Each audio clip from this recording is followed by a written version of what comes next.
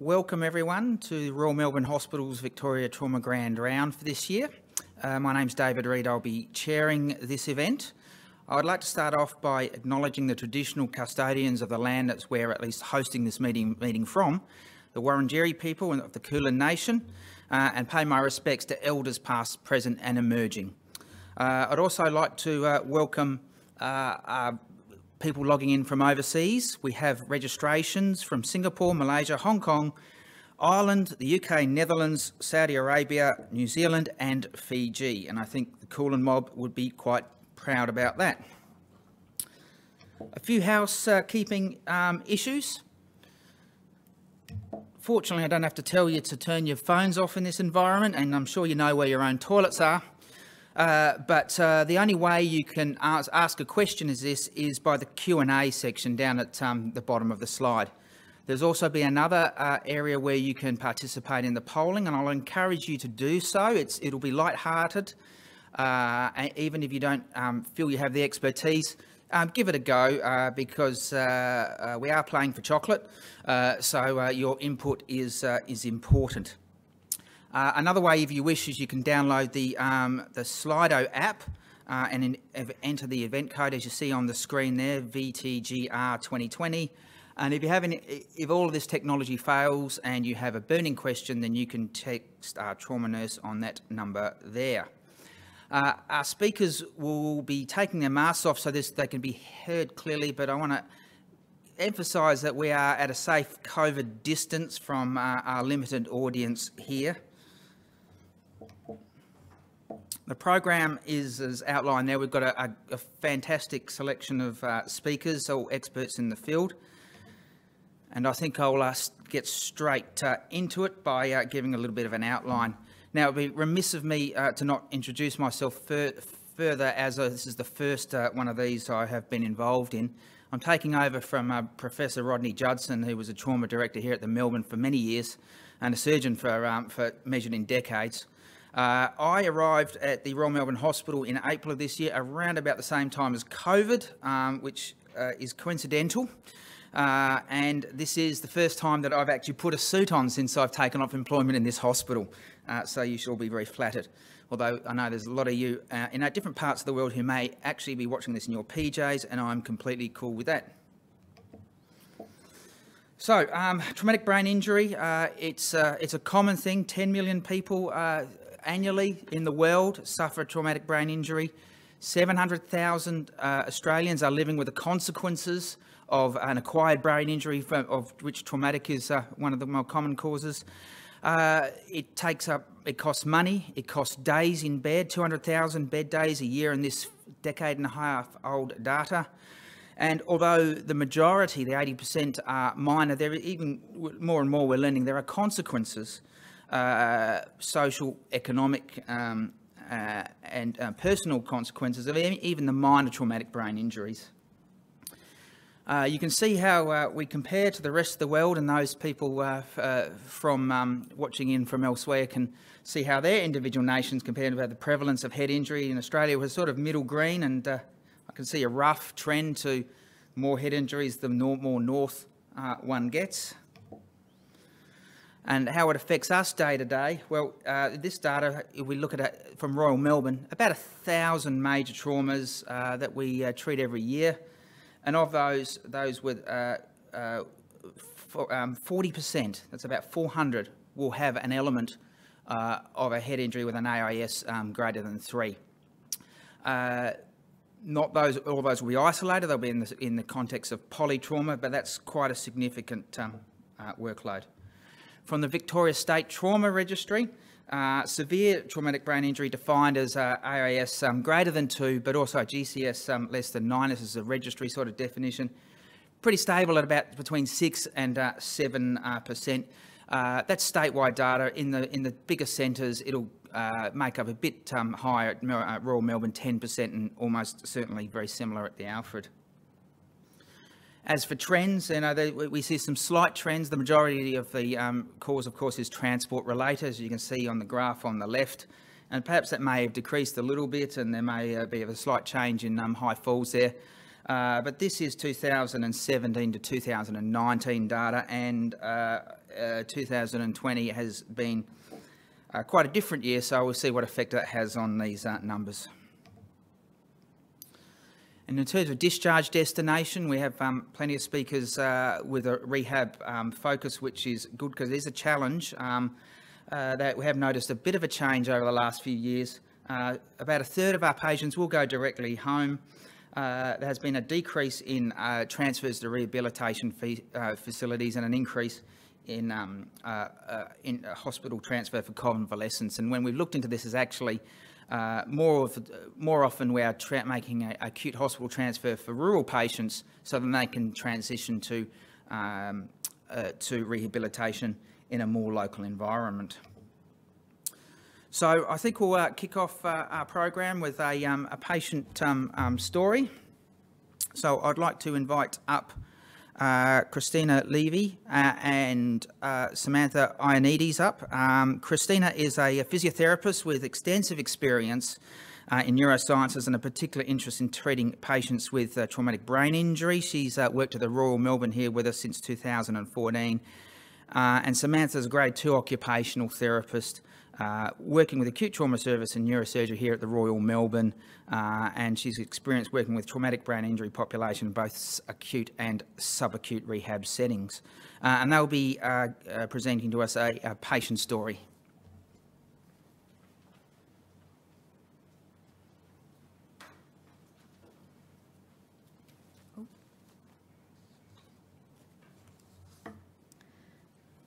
Good evening. My name is Christina Levy and this is Samantha Ioannidis.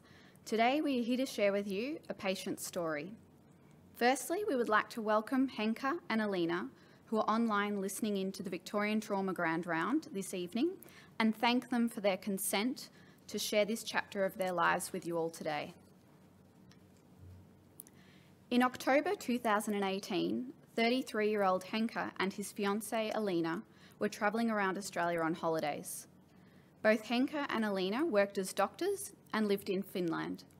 Henka lived a fit and active lifestyle. He enjoyed rock climbing, running, and mountain bike riding. On October 18th, Henka and Alina's lives changed forever. This is Henka's story.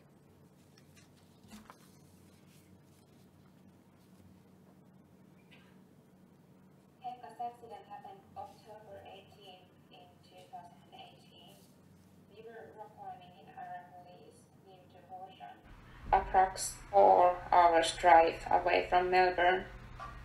We were warming up, not even pushing ourselves to the limit, as Henka's belaying device flew off the rock wall.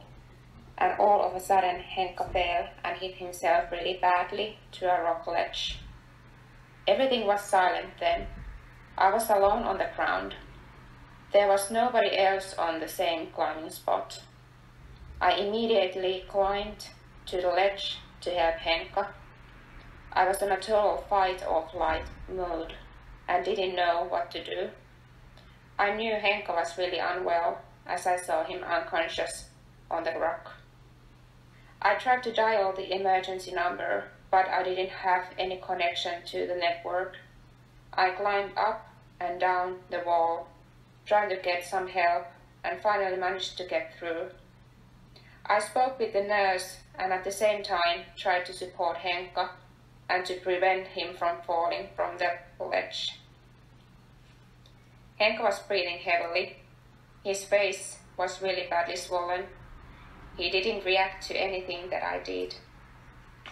I tried to keep his airways open with my fingers and empty his mouth and nose as he was gurgling blood and vomit. After one and a half hours, we finally got help. Henka was flown to the Royal Melbourne Hospital. On arrival, his CT brain demonstrated extensive intraventricular hemorrhage in the lateral ventricles extending to the fourth ventricle, hydrocephalus, significant subarachnoid hemorrhage in bilateral frontoparietal lobes and the basal cisterns, bilateral frontal contusions with associated right frontal hemorrhage and diffuse cerebral edema. On day one after admission, Henker underwent a right craniotomy and evacuation. On day five, an EVD was inserted due to ongoing raised intracranial pressure. Henker also sustained multiple other traumatic injuries in his skull, face, chest, and right arm. Throughout his stay at the Royal Melbourne Hospital, he had a total of 12 teams involved in his care. This included trauma, neurosurgery, intensive care, orthopaedics, maxillofacial, ophthalmology, nursing, physiotherapy, occupational therapy, speech pathology, dietetics, and social work. His journey at the Royal Melbourne Hospital began in the intensive care unit, where he spent 31 days. First days I was afraid Henke was going to die any minute. Then I was afraid that he'll stay alive, but wouldn't be able to walk, talk anymore. On the 12th of November, Henke was transferred to the trauma ward. Henke experienced severe and significant impairments. On arrival to the ward, Henker's presentation was consistent with unresponsive wakefulness syndrome. This was assessed by occupational therapy and speech pathology via the coma recovery scale. Shortly after transferring to the ward, he improved to a minimally conscious state before emerging after 43 days. Occupational therapy then commenced assessment on the Westmead Post Traumatic Amnesia Scale, which continued for the remainder of his admission. Henke first started communicating using a whiteboard, and with time and encouragement, he was able to say his first words Hello, Alina.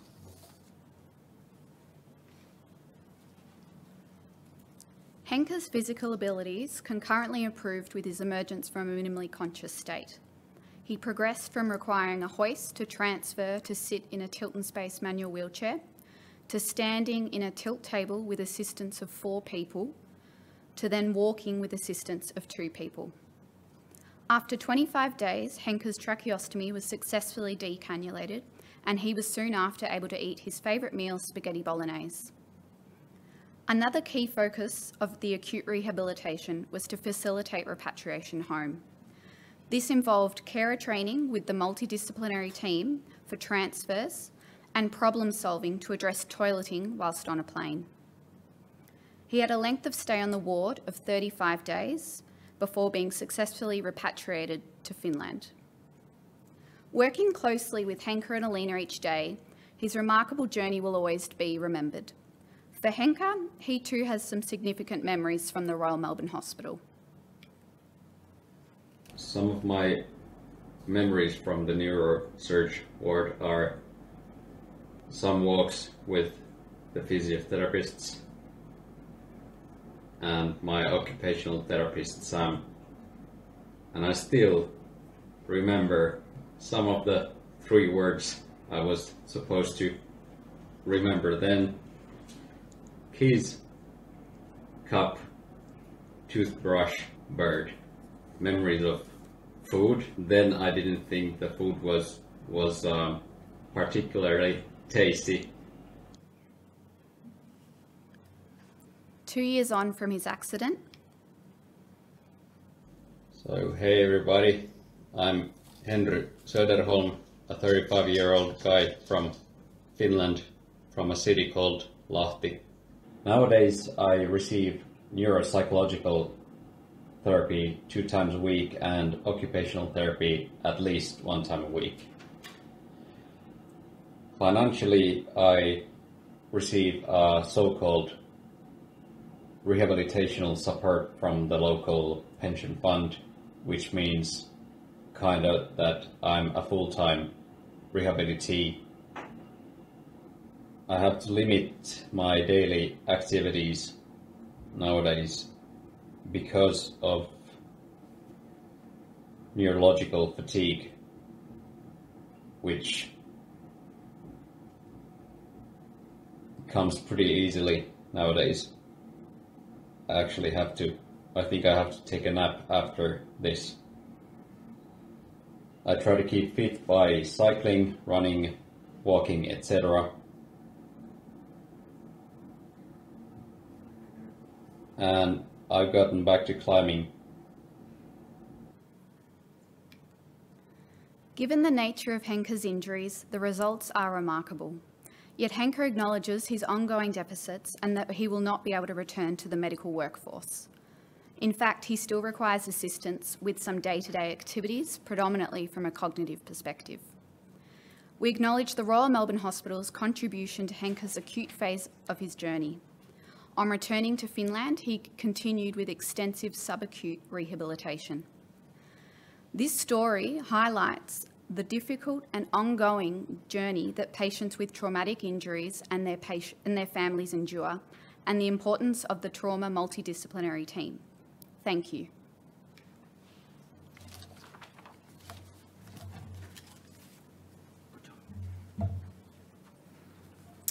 Thank you, Christina and Samantha. Uh, great start. And uh, thank you to Henke and Elena um, for um, your generosity in sharing your story. Next, I'd uh, like to invite Alex Adamides up uh, to speak. He is a uh, been a consultant neurosurgeon at the Royal Melbourne here since 2012. Uh, he has researched in uh, investigating the role of multimodality neuromonitoring in traumatic brain injury, and he was involved in the introduction of brain tissue oxygenation monitoring and cerebral microdialysis in traumatic brain injury in Australia. Uh, he's published extensively on cerebral oxygenation and metabolism. Um, thank you, Alex. Thank you, David. Thank you, David, for the introduction.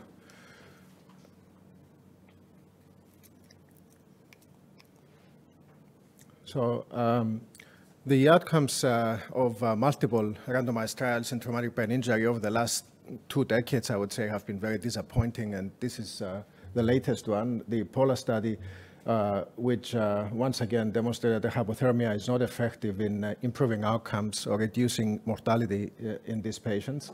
Um, and um, it's uh, one more of the studies that have uh, been proven to be ineffective in this field um, of traumatic brain injury, and there are several reasons why that is the case.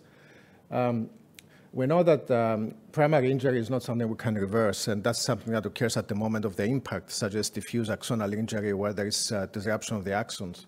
But what we can uh, prevent potentially is secondary injury, which occurs uh, um, from the moment of trauma onwards and, and can occur several days or even weeks after the event. Um, the problem with traumatic brain injury, however, is that we can't pre uh, predict when it's going to happen, so we can use a, we cannot use preventative uh, medications. Um, and it's also um, um, in each uh, injured brain, there are so many different pathologies occurring at the same time, such as extraaxial hematomas, contusions, diffuse axonal injury, traumatic subarachnoid hemorrhage, hydrocephalus. So, and, and all these processes change, um, not only in different parts of the brain, but also during time, um, as time goes by.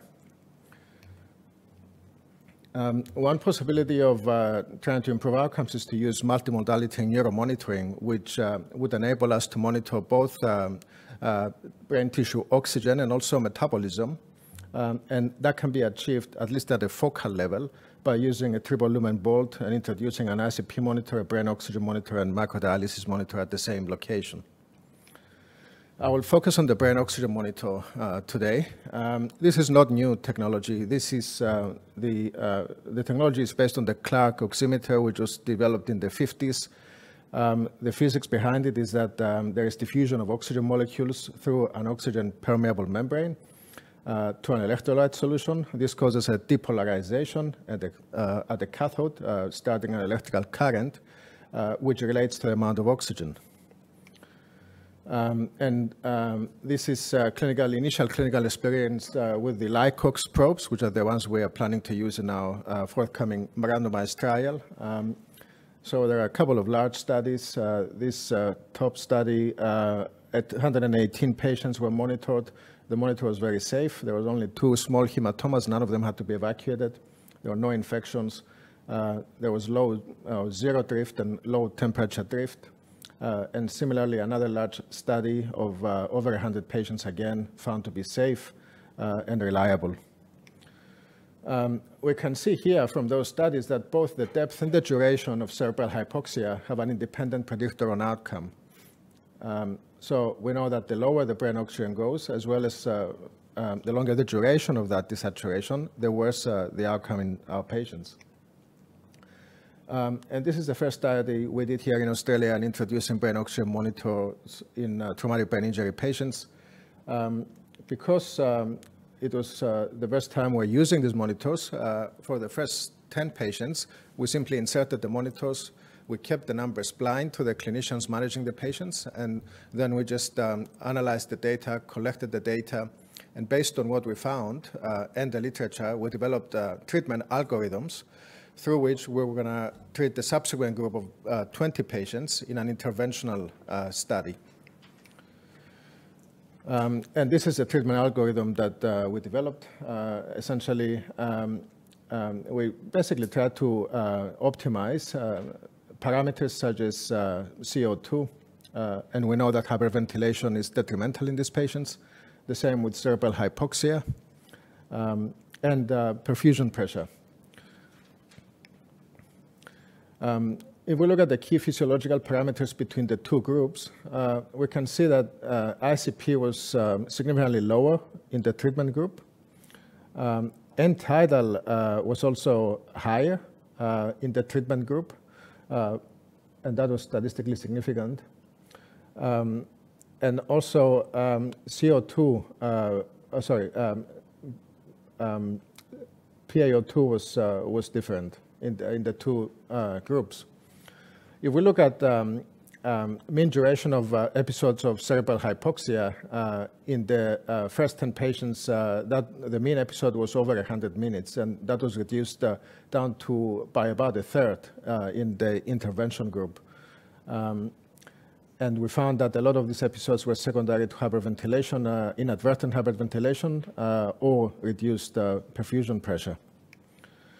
Um, when we uh, compared cerebral hypoxic events and systemic physiology between the two groups, we found that brain oxygen was considered to be less than 15, which is considered to be ischemic, in 10% of the time in group one in the patients that were not treated, uh, whereas that was reduced down by a third uh, in group two. Uh, although this was not statistically significant, there was a positive trend. Um, and we can also see that uh, inadvertent hyperventilation below 35 millimeters of mercury was reduced by about half, and that was statistically significant, um, as was uh, severe hyperventilation below 30. Um,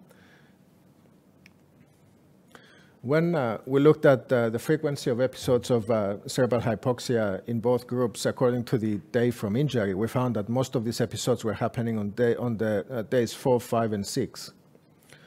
Uh, and we tried to speculate why was the cause for that.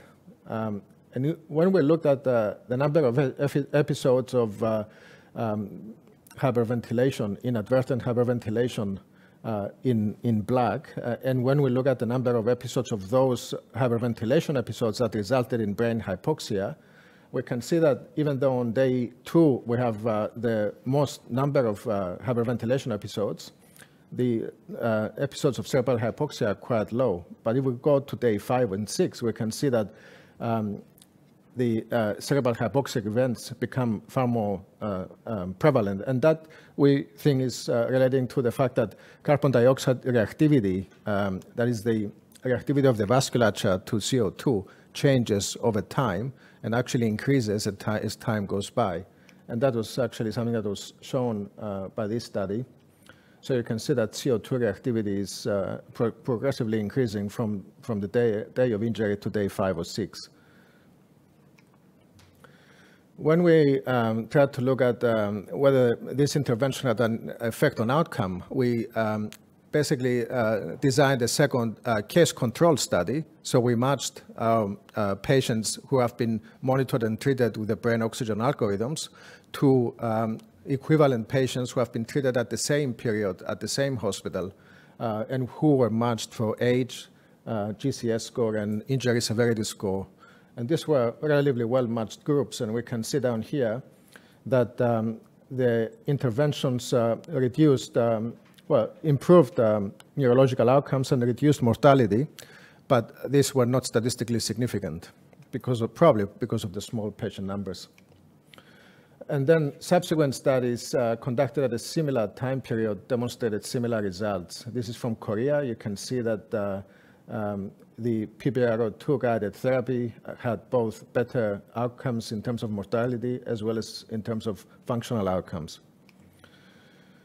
Uh, and these are further uh, uncontrolled observational studies, again, suggesting that uh, monitoring and treating brain oxygen uh, potentially improves outcomes. But we need good quality class um, randomized trials, uh, class one evidence actually, because this was a very sobering study um, by Randall Chesnut, who's um, done some excellent work uh, in the 80s in uh, uh, establishing how profound um, uh, effect on outcome do hypoxia and hypotension have in these patients. Um, because of ethical problems in running a study along these lines, he conducted a study in Bolivia and Ecuador and essentially he randomized patients into ICP monitoring and treatment of the pressure compared to uh, essentially clinical management of head injured patients uh, with CT scanning and, and, simply clinical management. Um, and the result was that there was no difference between those who were monitored and those with a monitor and those who were monitored clinically. So um, randomized, the first randomized study that came out using brain oxygen monitors was the uh, BOOST 2 study uh, conducted in the US. Um, there were 62 patients in the ICP-only treatment group and 57 patients in the ICP plus brain oxygen treatment group. Uh, and um, functional outcomes were looked at six months uh, in terms of the Glasgow outcome scale, score, and the disability rating scale. And you can see here that uh, at six months, uh, there was a trend to significantly reduce mortality in the brain um, injury group that was monitored with uh, ICP as well as brain oxygen monitors, um, and a trend in improved uh, neurological outcomes. However, um, this study, um, these results did not reach statistical significance, and, and this was the prelude to the uh, BOOST 3 study, which is currently ongoing in the US. And this uh, study also showed, uh, similar to our initial study, that uh, there was a significant reduction in uh, cerebral hypoxic events uh, or in the duration of cerebral hypoxia in these patients by 77%. Um, and this led to the BOOST 3 study. Um, and this leads us to our local study here, the Bonanza study, which is the brain oxygen neuromonitoring in Australia and New Zealand assessment. Um, in patients with severe head injury, early brain oxygen monitoring and optimization will improve functional outcomes at six months compared to usual neurointensive care based on ICP and arterial blood pressure monitoring alone. At least that's our hypothesis. Um, this is uh, going to be based in Australia and New Zealand. Uh, we're aiming to recruit um, 750 patients over five years. Uh, sorry, 1,000 uh, patients over five years. Um, and uh, we are starting a pilot study now, and we are in the process of uh, getting our governance here at the Royal Melbourne to start recruiting patients. So um, we will, uh, similar to the BOOST study, we will uh, randomize patients into ICP monitoring only or brain oxygen and ICP monitoring. Uh, and uh, patients will be monitored for a minimum of 48 hours, um, and they will be um, included in the study within the first 12 hours. Um, this is the treatment algorithm for the ICP management protocol. Uh, very busy, so I will not go through it. But um, and this is the one for the brain oxygen monitoring um, uh, algorithm. Uh, and essentially, a lot of these um, optimization strategies uh, aim to improve uh, oxygenation, aim to uh, prevent um, inadvertent hyperventilation, optimize hemodynamics.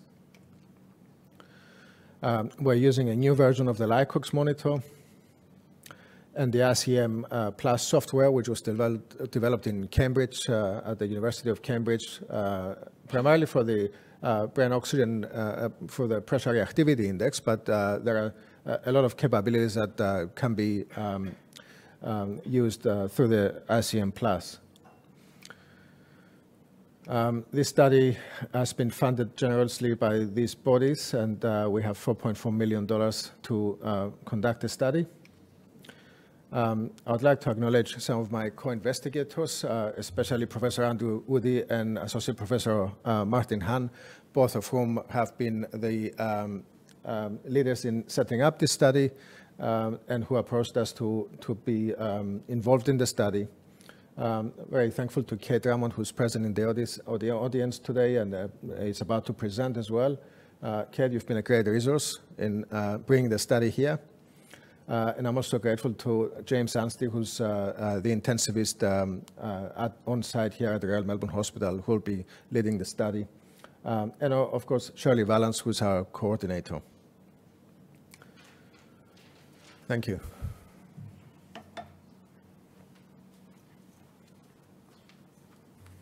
Thank you, Alex. Just a reminder, you can um, send your questions in now on uh, on the website, and uh, uh, we will get to them eventually at the end when we have a, um, a panel um, session. Uh, we'll change topic now. Uh, something a little bit more interactive is I'm going to present four patients uh, with traumatic brain injuries.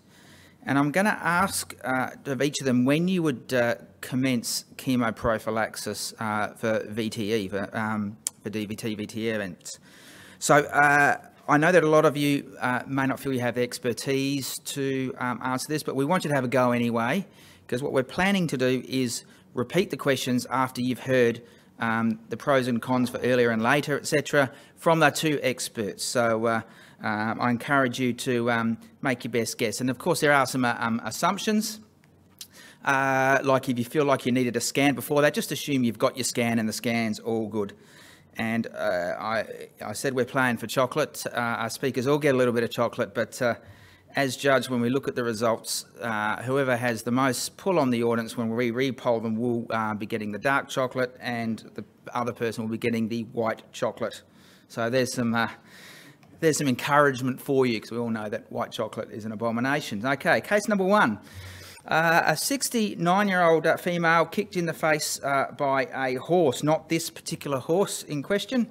Um, uh, she fell backwards but had no head strike. Uh, a Glasgow 14 and her pupils were equal and reactive. She's in general good health. she came in expediently to the Royal Melbourne and her injuries were basically maxillofacial. So quite complicated um, dental alveolar um, fractures facial lacerations, uh, and a, a, a threatened, um, not immediately threatened airway, but uh, uh, in time would have been threatened, so had that airway secured. As a part of uh, imaging, uh, the findings were this uh, small um, intracerebral hemorrhage near the um, near the anterior horn. Um, so we have a patient who we think is going to be in hospital for the best part of a week, needing two, maybe three operations to sort out complicated facial fractures. Um, they're well, no blood thinners. Uh, they've got no neurology and, and um, that hemorrhage, as you can see there. So we would uh, like to open up the poll for the first one, um, and the uh, the answers will be the same for the, all of the patients. Uh, so when, uh, which, uh, you know, assuming everything that you want to assume, when would you be most likely to commence chemoprophylaxis?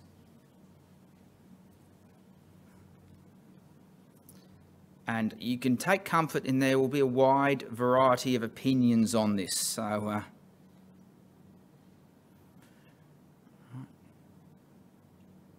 okay, shall we? Uh, we've got a few answers in, have we? Yep. Shall we uh, have a look? Okay. Shall we uh, look at uh, the um, the next case, and that'll keep polling away there. Okay, a 31-year-old uh, male who uh, has two fall, uh, falls out of a tram, a very Melbourne-related injury. I'm learning that this is different from my previous experience as a trauma surgeon in the Northern Territory. Um, he had an accidental fall out of a tram uh, and, his, uh, and has suffered a head strike. His mate helped him um, to his feet and moved him to the shelter out of the rain. Uh, and unfortunately let him go a little bit early before he'd gained his uh, composure again, and down he went again. A second head strike, this time to the temple. Uh, this, uh, this man, despite the fact he's only 31, is quite frail and unwell with an underlying neurological condition. His neurology is there, his pupils equal and reactive, uh, and his uh, uh, Glasgow has been recorded variably as um, 13 uh, to 14. Uh, but in summary, it appears to be an isolated head injury at this stage, with sub, uh, uh, sorry, subarachnoid he hemorrhage anteriorly, a little bit parafalcine, a little bit of subdural, uh, and a, a, small amount of intraventricular hemorrhages. So widespread small amounts of hemorrhage. So we'll open this uh, one up.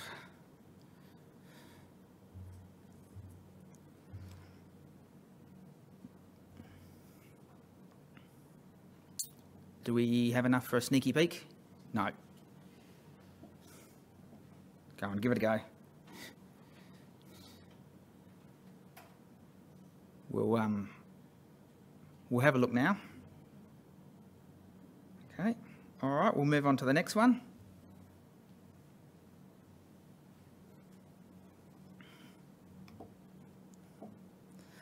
So uh, case three is a 19-year-old male involved in a rollover uh, motor vehicle um, collision.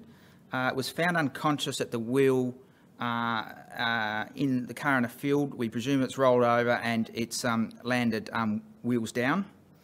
Uh, at the scene, he was assessed as having Uh, Glasgow um, of uh, four there, uh, and Ambulance Victoria made the decision to intubate him at the scene.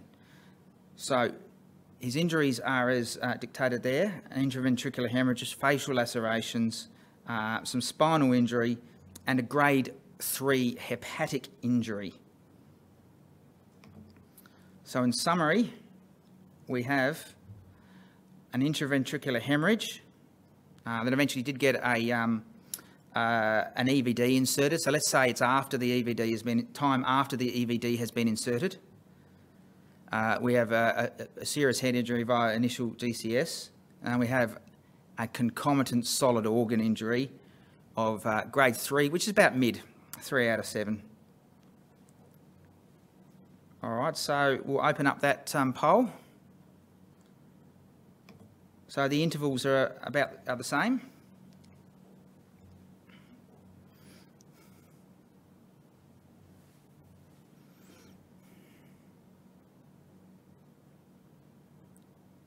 All right, we, okay, shall we have a sneaky peek? Okay. Still, we'll move on to the, we'll move on to the next one whilst uh, people are still, uh, poll's still open. If you're still catching up, that's fine.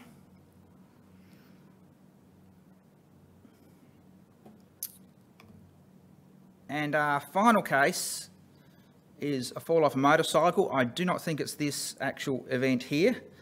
Um, this 42-year-old um, male came home after his um, uh, after he uh, came off his motorcycle, uh, lay down on the couch for a rest, and was found unresponsive 45 minutes later.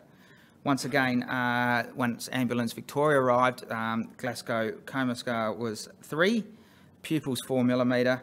Uh, he was intubated at um, the scene. By the time he got to ED, he had a fixed and dilated pupil, a CT uh, showed a mass lesion, um, a subdural hematoma with uh, significant mass effect, uh, and he, uh, of course, had an immediate um, craniectomy. So he's post-op after his craniectomy. There was quite a bit of swelling after the lid came out, so they elected to leave the lid out. Uh, he's projected that he'll have a long inpatient uh, stay for rehab uh, and he has no other injuries that are of concern that might be bleeding. All right, so we open up um, this poll.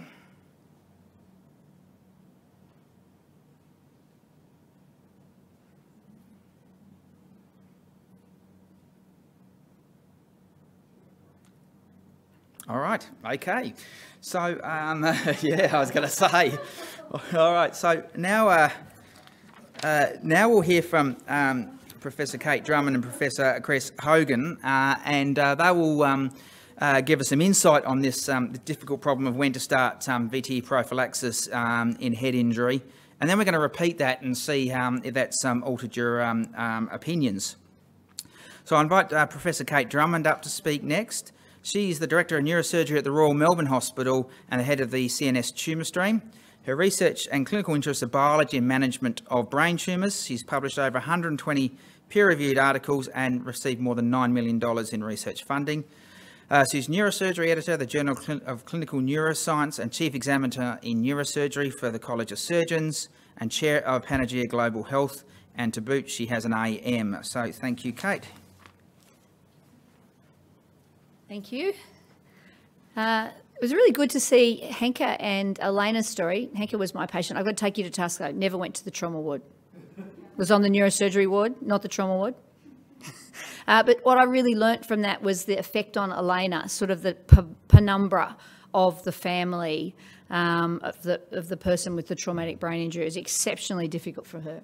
Anyway, so we, uh, my topic was VTE prophylaxis in traumatic brain injury, but I'm assuming that we're really talking about chemical VTE prophylaxis because we're not like we're not worried about stockings and squeezy calf squeezies or anything. So I'm presuming that's what we're talking about. Um, so this is this is what we're all worried about. We've uh, you know we've got day one and we've got day two um, either, you know, where the contusions really start small and then it's an awful word that we use where they blossom. I mean, you know, it's not really blossoming, is it? But anyway, that's what we're worried about blossoming contusions. And so, if we gave them some sort of anticoagulant, would that make that worse? Um, or this. So, the subdural going from a small subdural to a big subdural, which is, I guess, that's probably a little bit of a moot point. We might have taken that one out. Um, but the other one where we've got a subdural we can't even see turning into a significant subdural if we anticoagulate the patient. So th that, this is what we're all worried about. That's what the background is. And so everyone's sort of like, well, when is it safe to give the patient an anticoagulant to prevent the very real risk of a, of a, of a DVT and a pulmonary embolus, which of course is equally as, well, equally as bad, potentially, as the head injury. So there's a lot of papers out there on this. There's a lot of really bad papers out there. And I'd just like to point out at the beginning of my literature review, I started to get that feeling of that saying of, you know, the definition of insanity is doing the same thing over and over again and expecting that outcome will be different. So just, just keep that in your mind when you see some of the, some of the literature I've got here. Um, so this is a nice article. This is from 2011. Um, and this is very, uh, this is uh, very typical of a lot of the articles in the literature. Um, so basically someone wants to know if it's safe, so they get out their really, really big trauma database. Um, so they get a retrospective cohort study and they look at all of the patients who got early chemical prophylaxis and all of the patients who got late chemical prophylaxis, like there couldn't possibly be any selection bias there as to why they decided to give some late and why they decided to give some early. But anyway, without any of that selection bias. And then they exclude a lot of patients, those with intracranial pressure monitors, those with ventriculostomies, um, you know, those who are still bleeding, um, those sorts of people, often people who've had an operation, so most trauma patients. So they, they, do, they do a retrospective study with huge selection bias involving only a small percentage of the patients who we probably don't need to know about anyway. They do a lot of very fancy statistics uh, and they come out and they say, um, we found that it's uh, safe to give early VTE prophylaxis uh, and that um, not really powered for it, but it probably prevents clots. Okay, so that's 2011. Uh, so 2019, we thought, oh, okay, better. We've moved along here. Um, so what did we do? And this is Volker Seifert, super, super smart German neurosurgeon, one of the smartest men I know, and I think really a fantastic neurosurgeon. But, uh, you know, there he is, there doing this paper where Okay, so we looked at all of our admissions. Um, and this, look at this, this paper was published in 2019, but they looked at their admissions from 2012 to 2016 or something, so it took a while to get past the reviewers. Uh, probably went through a few journals. Anyway, uh, same thing, uh, you know, they excluded all of the patients who'd had an operation or an ICP monitor or anything else. They looked at four groups, early, middle, late, very late, no selection bias there at all whatsoever. Um, they did uh, a bunch of fancy statist statistics to show that there was no difference between the groups, apart from the huge selection bias as to why they'd given the VTE prophylaxis at the time they did anyway. Um, and then they came out and said that uh, it's very safe to give VTE chemo prophylaxis within 24 hours and it didn't increase the risk of worsening bleeding.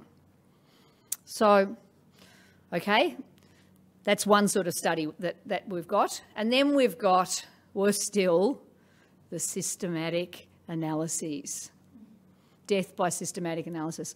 Um, so uh, this is Australia. We are not immune from the from the craziness. So this one I think was was it 20, 2013. And I don't want you to read all of this stuff. I just want you to notice the wonderful progression of knowledge you know, the, the moving forward of the field that we have here. So uh, systematic analysis, they found 16 studies, 16 studies um, that basically said um, we think it's safe in low risk patients, ones that haven't had you know, an ICP monitor, a ventriculostomy, an operation, and not anticoagulated, etc., etc. Um, it's in this journal. Wait a minute the Journal of Trauma Acute Care Surgery. Okay, um, great. Uh, and they found level four evidence for being able to give thromboprophylaxis relatively early at being fairly safe. It stopped clots and, uh, and it didn't make bleeding worse. So we move along to 2016. Amazingly, these people only found 12 studies. I don't know where the other six, the other four went that were in the other, that were in the other systematic analysis. Again, we're in this same esteemed journal, exactly the same journal, three years later. Um, we've managed to make it up to level three evidence with less studies and no randomised trials, and we've, but we've come to the same conclusion that in patients who um, haven't had an operation, don't have a tube, like a tube in their brain, haven't got any other risk factors, that it's safe to give early VTE prophylaxis and it probably stops clots and it doesn't make any bleeding. And then look, just because we weren't sure in exactly the same journal, in 2020 because you know they had nothing else to do this year. It was COVID. They were bored. They were sort of stuck in at, at, at, at home.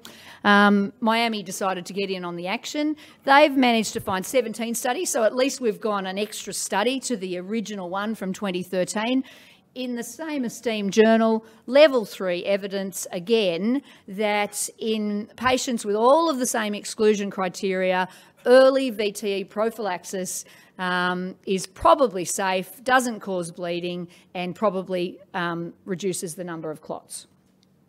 So that's the state of the literature. I quite like this one because this really summarises it and it had a nice picture there.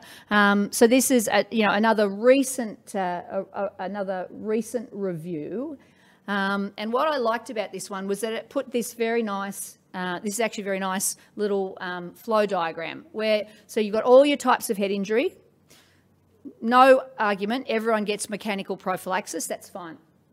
You then look and see if they've got a coagulopathy, if they're already anticoagulated. Don't start heparin if they're going to go home anyway. Um, active bleeding, but if they've had an operation, an ICP monitor, a ventriculostomy, okay, all of those people, if they've got no and you have a stable CT scan after six to 24 hours, which of course another study that I'm on says that you shouldn't do because it doesn't make any difference. But anyway, stable CT scan six to 24 hours, yes, you can start the heparin. If they've got any of those other things, which is will be most of the patients, yes, um, then it's individualised. So basically, the experts should all put their heads together and decide what's the safest thing to do. Um, and if the CT scan is not stable, then they cross across to the expert opinion group anyway. Um, and they said that using this, um, basically, um, in the low risk patients, these patients over here, very small numbers, who'd had a stable CT, it was very safe to give VTE prophylaxis early, 24 hours, um, and that it probably reduced the number of clots and it didn't make the brain bleed. So we're a little bit further ahead on what we're supposed to do. So, my conclusion after reading all of these papers till three o'clock this morning, trying to work out what I was going to say this afternoon, do whatever you like. No, not really. Okay, my real conclusion is the evidence is very poor. Um, chemical VTE prophylaxis is safe in patients with TBI with stable scans, normal clotting, and who haven't had any intracranial surgery. That seems to be generally agreed. That, of course, is a very small proportion of the patients who we see. Um, and the best I can come up with for the rest for the rest of the patients is, in fact, that there should be a, a and I think this is what we don't do, which causes the problem. There should be a daily intentional consultant review of the nuance, the benefits, and the risks of starting, you know, starting prophylaxis. Uh, and that's what we don't do. We don't actually have the people looking after the patient think every day, should we start should we start chemical prophylaxis today? What are the risks and benefits of that in the context of the whole patient, not just their traumatic brain injury, but also uh, their other injuries, uh, you know, the other problems that they have and what you might need to do. Uh, so apparently questions are at the end, so that is the end of my talk.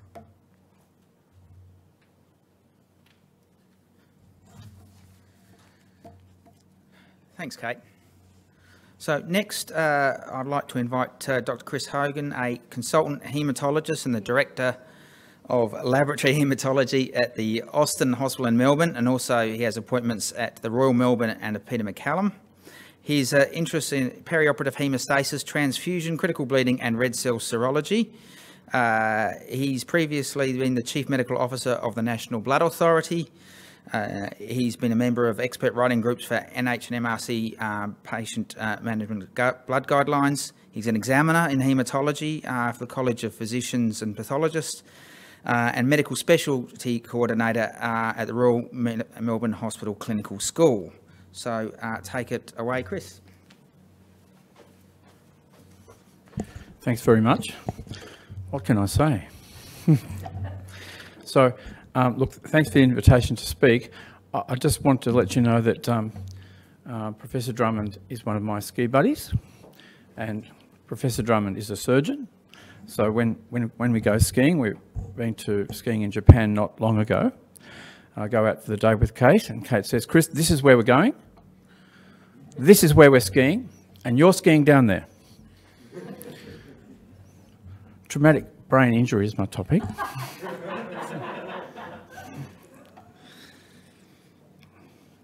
Okay, so, so the, in these um, injured patients, uh, polytrauma, there are a whole range of perturbations of their physiology and things that trigger um, hemostatic derangements that can be uh, thrombogenic.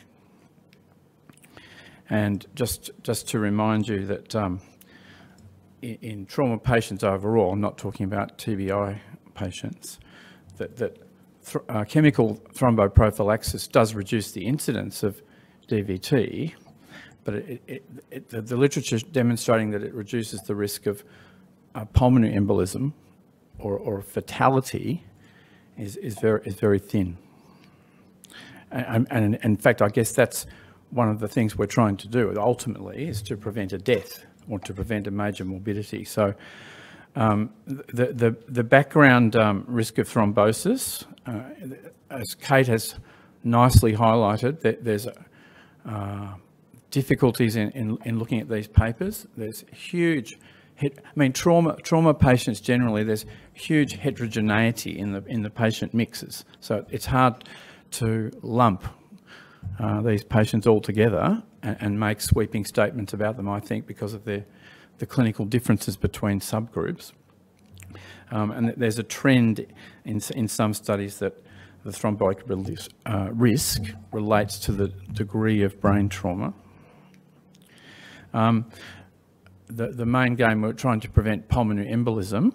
So the, the, the, the data is, uh, there's not a lot of data. You can, you can, see there in that table that there's a, a relatively low incidence of documented uh, PE in patients who have brain injury.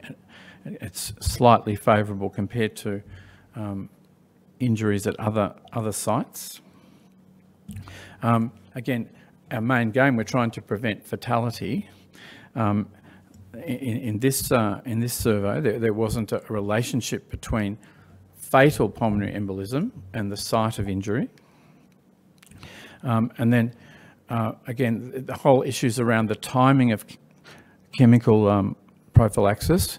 Uh, how many studies do you want to look at? Generally speaking, I would agree with what Kate has said, that the quality of the evidence is, is not high. Often they're only grade three uh, level evidence in, in these sort of uh, studies or meta-analyses. Uh, the, the, the, sweeping generalisation is, is around the 72-hour watershed, that, that generally speaking, after that uh, time point or that goalpost, that the safety is um, increased in terms of um, thromboprophylaxis. Um, there's this so-called interrupted um, treatment where, where you, you, you, stop it and you start it again. Um, if, you, if you have an intervention you need to do. Um, th th those, those studies, the, the most, let's try and get this to work. The, the, the best p-value is uh, in relationship to the interruption of the continuity of the chemical thromboprophylaxis, whereas you can see the other, the other, um, sorry, the other indices or the other parameters that you might think might predict uh, VTE as being provoked don't have good p-values in that study.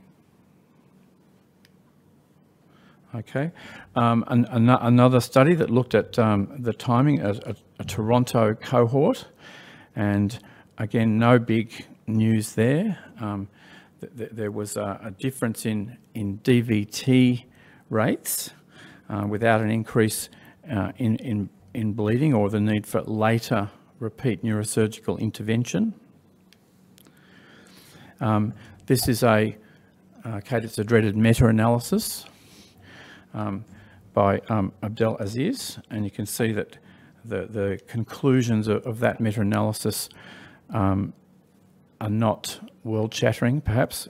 The, the, the, spontaneous expansion uh, you avoided in the after the, before 72 hours. Um, that if you commence the chemical prophylaxis, I think I'll take that off, um, after 48 hours, the likelihood that you'll get re-expansion is not great. Uh, there was a, a, trend towards lower expansion of hemorrhage with um, low molecular weight agents compared to unfractionated agents. Um,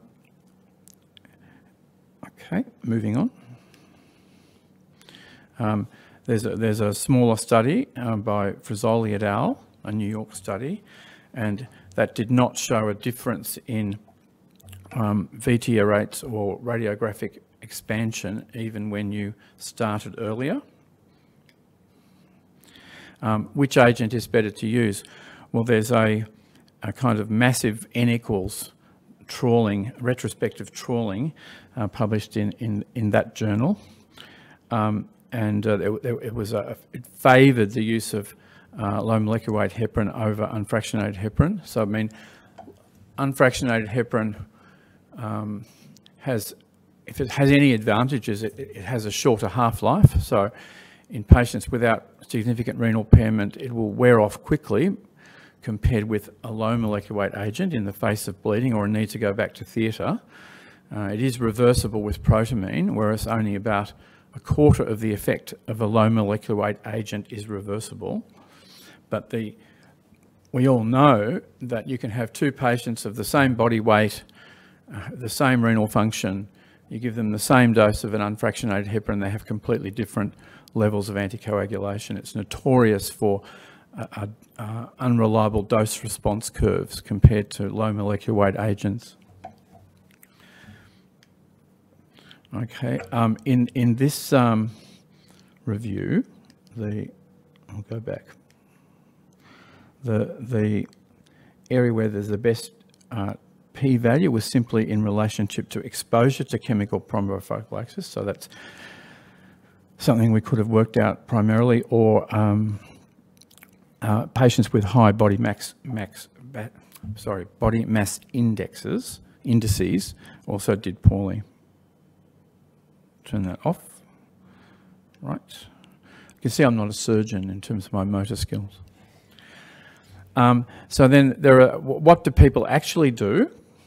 Well, you can see in this uh, um, UK survey of uh, practice, there was uh, significant variation in practice. The consultants seemed to be a bit more driven than their registrars. Um, low molecular weight agents were favoured over unfractionated. And Kate, there was this huge variation in when you kick in. So really, we're, we're not getting a lot of clarity out of these papers. Uh, similarly, in a um, another, this time as a European study, look at, looking at what people actually do, what they prescribe, and you can see there's, again, there's there's variation in the the, the timing of commencement, um, and so on, imitating the other paper. Um, the brain trauma guidelines, um, they are rather vague from my perspective. They say it's a good idea to think about using it. And then they say there is insufficient evidence to support recommendations regarding the preferred agent, the dose or the timing. So they're very helpful guidelines. Not. Okay, the um, um, more recently published Austrian uh, consensus guidelines are a little bit more um, directive, and they they um, put forward the idea that you would consider starting the prophylaxis even before the 24 hours is up if the patients are very stable. One of the things that struck me as a non-surgeon reading all these papers is that they, they all talk about stable patients versus less stable patients, and you use that to decide how early to start, but they all have variability in what they define as stable and, and how often you should scan and when you should scan. And, and, and then on top of that, there's the heterogeneity of injury. So I think it's, uh, I'm a bit in Kate's court here. Um, so I think I think it's I think what what Kate mentioned at the end of her presentation that one of the critical things is going to be careful, regular review at a senior level of the patients to help determine what you do, unless there are some trials in the future that give us more definitive guidance at higher levels of, of weighted evidence than, than are available at the moment. But I think those, those studies which we would like to see will be uh, delayed or maybe impossible because of we're talking about trauma and trauma is so heterogeneous. Um, other agents that we could use apart from good old um, unfractionated heparin or uh, low molecular weight agents, there, there are no studies that tell us uh, anything meaningful about alternative options. So thank you for listening.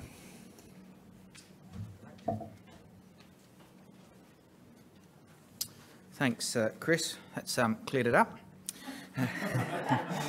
Uh, as one, I would uh, mention that one way to uh, uh aggravate surgeons uh, is mentioning NOACs. Um, so you just sneak that in right at the end there. So what we might do now is we might repeat those little um, case vignettes and we'll see if, we, will ask you to do the same and poll again and see if your answer has changed.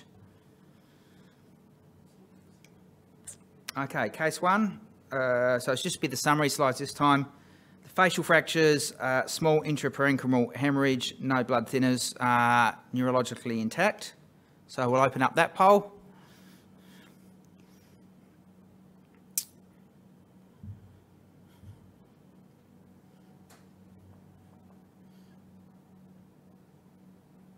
How are we doing for numbers? Coming along slowly? Then I might hit up Kate and Chris then. What would, uh, where would you, where would your range, where would, uh, Oh, as long as that, the scan was stable the next day, I'd, I'd So- with a normal scan A, yep, Yep. okay, yep. Okay, so the uh, next um, patient uh, with, that uh, fell out of the tram uh, with the uh, scattered um, hemorrhages, uh, subdural, subarachnoid, uh, and intraventricular. Yeah, this is the guy that's.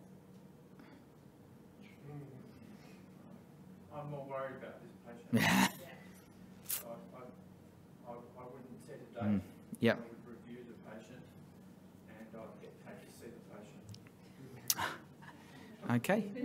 And we, uh, have we got a few, we've got a few uh, answers in? Yep, okay. Uh, And uh, so your best case scenario would be assuming that your follow-up scans are okay, no deterioration?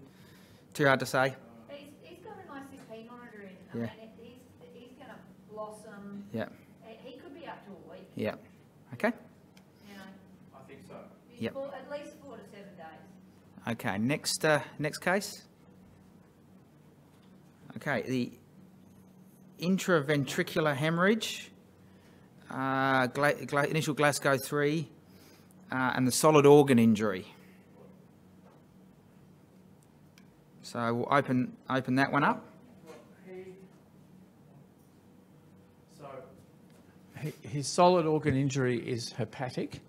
And in some of those studies, there was a relationship to, uh, between ongoing brain, brain bleeding Yep, with chemical prophylaxis and severe hepatic injury. yep. And uh, I, I, think he's very risky. Okay. Uh, we've got, a- we've got a few votes in, have we? Yep. Okay. Okay, uh, from the trauma and general surgeon's point of view, we'd sort of like uh, a grade three liver injury to wait for 48 hours. Um, uh, obviously, um, uh, the head has its own preference, but that uh, uh, the solid organ injury um, does influence this a little, although there are probably some very similar to those retrospective studies that um, Professor Drummond talked about, suggesting that slightly earlier uh, commence, uh, commencing chemoprophylaxis and solid organ injury is probably safe with the same selection biases. Okay, His coma score's three. Yeah. And he's probably gonna end up with an EVD. yeah, And you're not, not gonna wanna start it until you've taken the EVD Yep. out, twenty-four hours after that. okay. Next, uh, next case. This is a post-op um, uh, craniectomy. So I'll open that poll up. I'll give the, uh, give them a chance to put their votes in. Got a few numbers in? Not yet. They're thinking a bit harder about this one. And our experts, the, I, I know that's difficult because you haven't got a lot of information. Not a lot of information. I Yep. mean, His, his primary injury and initial scans looked terrible Yep. um, in, in terms of displacement and Left the bone off, right? Yes. So the brain's gonna be herniating out against those edges of Mm. those bony edges. Yeah. And contusing itself, and they're, go- they're gonna get a venous infarct because the veins are gonna be stuck up against the bony Yeah. edges, so not in the near Okay. future. All right. Okay. And we'll close that one off. Right, uh, and uh, well, they'll give us a little bit of time to look at those results and decide who gets the good chocolate and the not so good chocolate. So we'll move on to uh, rehab now. Uh, so I'd like to invite um, uh, Professor John Olver up. He's the Professor of Rehabilitation Medicine and Department of Medicine at Monash. and Medical Director at, uh, of Rehab at Epworth Healthcare. He's a past president of the Australasian Faculty of Rehabilitation Medicine and the Asia Oceans, Oceans Society of Physical and Rehabilitation Medicine. There are some acronyms for you. Uh, a recipient of uh, the AM, another uh, medal wearer, and uh, his research interests are traumatic brain injury, concussion, spasticity, uh, stroke rehab, and he's co-authored over 95 um, papers and currently supervising six PhD students. Um, so thank you, Professor Olver. So thank you very much for the invitation to speak tonight. Uh, just to outline the, uh, the unit that uh, I have at Epworth, we have uh, 20 rehabilitation beds dedicated for traumatic brain injury. Our average length of stay in moderate to severe patients is 30 to 35 days as an inpatient. Our average length of stay with a community-based outpatient program is probably three to five months. And we have a, an active uh, follow-up program that invites people back for review at one, two, three, five, 10, 20 and 30 years post-injury. And um, I can now confidently predict that the patients coming in next week I will not be seeing at 30 years. So what I've been asked to talk about tonight is the management of behaviourally difficult traumatic uh, injury patient. And I've chosen one that um, we uh, kindly took from uh, the Royal Melbourne Hospital. Uh, and the issue with uh, behaviour management is every time you think you've got it right, the next patient comes in. So it's, there's um, a lot of variation in how we uh, manage it. But there are some sort of guiding principles. So this man was a 26-year-old uh, who was the unrestrained driver of a car who rear-ended a truck at high speed, greater than 100 kilometres an hour, in the context of a police chase. So just in that first sentence, you can get some idea that he wasn't behaviourally stable prior to his injury. He suffered from a closed traumatic brain injury, I'll give more details in a minute, and other multi-trauma orthopaedic injuries. His Glasgow coma score uh, was eight at the scene of the accident. He was reported to have loss of consciousness, probably only minutes, that wasn't fully recorded. And there was evidence of a prior history of drug use at the scene uh, because there were new, used needles on the floor of his car. He required intubation at the scene and was taken to a regional hospital in Ballarat and then transferred to the Royal Melbourne Hospital um, subsequently. At the Royal Melbourne, he had an MRI scan which showed intraparenchymal and intraventricular hemorrhage uh, and diffuse um, axonal injury. He was seen to have a mild prominence of the uh, temporal horns of the lateral ventricles, suggestive of early, mild, acute hydrocephalus, and he had bilateral subgaleal hematomas. He also had a series of orthopaedic injuries, pelvic fractures, right sacral alar, right acetabular. He had a right inguinal hematoma, which was quite extensive, and he had a right femoral fracture, um, which uh, was um, surgically uh, fixed with a K, uh, a K nail, and he, uh, on transfer to rehab, uh, was walking with the aid of a two-wheel frame, so partially weight-bearing with the fell pelvic and the uh, um, operated femoral fracture. In addition, uh, he had a fracture of the lateral mass of C5-6, which again required surgical uh, intervention, and he had uh, a soft collar when he came to rehabilitation. He uh, had acutely a moderate right pneumothorax and uh, severe right pulmonary contusion, needed an intercostal catheter which was successfully removed, and he had a grade 1 splenic laceration which was treated conservatively. So just on history alone, this guy's had a significant uh, high-speed uh, injury with multi-trauma orthopaedics and a severe head injury. So when we look at behavioural management, um, we want to know a little bit about the past medical history. And uh, by quizzing his relatives and from the information we got uh, from uh, the Royal Melbourne, Uh, we knew that he had a history of uh, methamphetamine and cannabis abuse, and the Royal Melbourne had already involved a, an addiction medicine specialist uh, to look at um, him coming off the drugs and his longer term care. And we involved uh, our addiction medicine specialist who um, was going to follow him up in the longer term. But he also had a history of drug induced psychosis.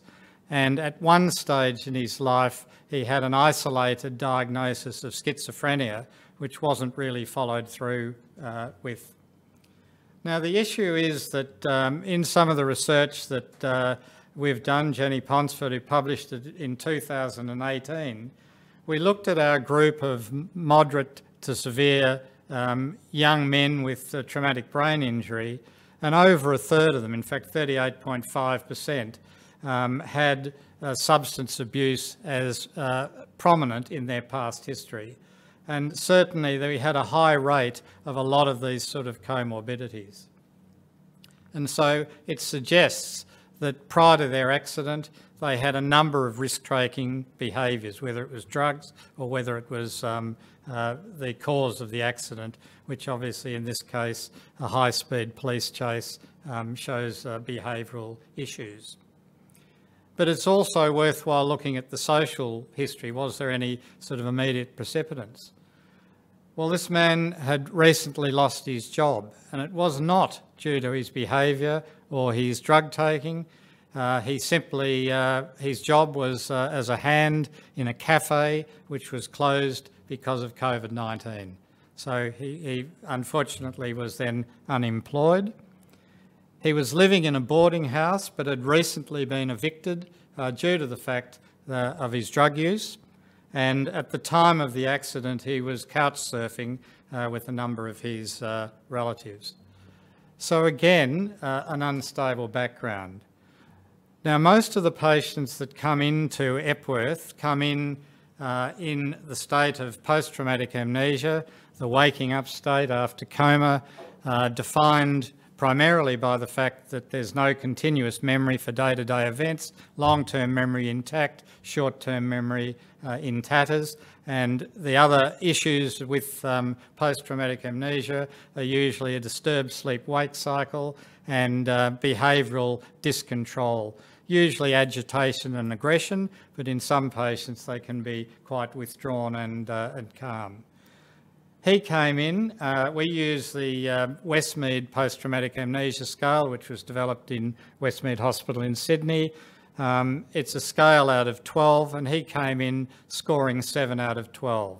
So he was confused, he was disorientated, um, his presentation, he was quite fatigued, but also he was quite behaviourally uh, disturbed at the time. So the issue is what was causing his behavioural problems because people without any history of um, behavioural problems or drug abuse can be quite disturbed in post-traumatic amnesia. And really in this time, you really don't know where the behaviour is coming from, but we have uh, standardised ways of attempting to uh, treat it. So the short-term goals is to manage the behaviour and manage the phase of post-traumatic amnesia and um, try even in this early phase to promote some sort of independence, uh, if only in personal activities. Uh, it's been traditional in post-traumatic amnesia to use uh, an isolating environment, low stimulation environment. There's now more research that shows that that does apply to the moderate to severe patients usually, but there are a group of patients who can cope with more stimulation and we don't want to delay their rehabilitation, their trip to independence by um, putting them in an environment where we're not doing too much. The other short-term goal was to find what his discharge destination was because his parents and sister made it quite clear on admission that they didn't want to have anything to do with him, that they'd already rejected him because of drug-taking behaviour, so he had no fixed address. And uh, these days you have to start looking at that very early. His long-term goals were to look at his addiction, see if we can change this and um, we return to normal function, and what that should have actually read, return to independent function, because his normal function got him into this problem. So at Epworth, we have a full interdisciplinary rehabilitation team, so neuropsychologists, physiotherapists, speech pathologists, dietitians, occupational therapists, social workers, etc. And we're trying to get people to their higher level of independence, both physically, psychologically, and functionally, in other words, being independent in purposeful daily activities. Now, this man's post-traumatic amnesia duration was 37 days, which on any scale of post-traumatic amnesia is a very severe uh, injury. With patients who are very behaviourally disturbed in post-traumatic amnesia, we're now using a scale called the Agitated Behaviour Scale. Uh, and this showed that uh, it, during this time uh, of post-traumatic amnesia, he had a very short attention span, he was easily distracted, inability to concentrate. So that could describe any one of these patients. He was impulsive, impatient, had a very low pain tolerance, remembering his orthopaedic injuries. He had a very low frustration tolerance and he was wandering, even in our isolated areas, um, uh, constantly from his room. He was pacing, he had excessive movement, he couldn't sit still. Uh, we have a uh, psychiatrist uh, who works in our unit who uh, crosses over between the Royal Melbourne and, um, and Epworth, which has been very useful. And coming to Epworth, because of his agitated behaviour acutely, he'd already put, been put on olanzapine. He was had diazepam uh, for drug withdrawal. He had clonidine, and I've never understood what clonidine does and he was put on sodium valproate as another um, behavioural drug. Now these are all fine, we use them all, there is no evidence for any of them. Uh, the most commonly used drugs for behaviour uh, that we use in order to try and monitor better their emergence from post-traumatic amnesia, their emergence and confusion, is carbamazepine and a beta blocker. And even with those two drugs, there's a little bit of evidence in properly controlled trials with small uh, cases, unfortunately, for beta blocker, but not much for high dose Tegretol or carbamazepine, although it's been used for many years in um, uh, burnt out uh, schizophrenic to control their, their sort of behaviour. So we try not to use um, uh, major tranquilizers, um, but in someone that's got extreme behaviour where they're a, a, problem for themselves or others, even in an isolated environment um, where we've got high uh, degree of nursing staff compared to the rest of the ward, um, we still have to use chemical restraint in more patients than we'd like to. And there have been some papers suggesting that the use of major tranquilizers, even like olanzapine, uh, prolongs post-traumatic amnesia. So what we tend to use is um, the environment and the central picture is a bed, a high-low bed um, surrounded by um, uh, eight centimetres of foam rubber and it uh, reduces uh, sight and sound stimulation. You can put a patient in there. These beds were initially um, made in Craig Hospital in Denver, Colorado and we bought the design to um, Epworth and have modified them uh, we don't put all patients in here and we actually didn't put this patient. But again, reducing the stimulation often reduces the behaviour in post-traumatic amnesia. They don't use uh, restraints on, on arms or legs. They can thrash around without doing themselves any harm. We've got a mirror over the, like the mirrors on intersections uh, to, to monitor them. And the nursing staff go in there when they're a bit calmer for um, basic uh, care and we don't give meals to them. If they're very agitated, we wait till they calm down. So the patient controls their management, but we're able to get their behaviour under control and stop a lot of the tranquilizers with the use of this type of environment and the section of the ward which is lower stimulation.